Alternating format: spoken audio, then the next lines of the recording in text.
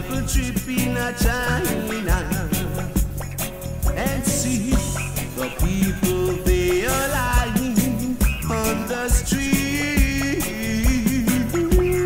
Can't get no place to rest or to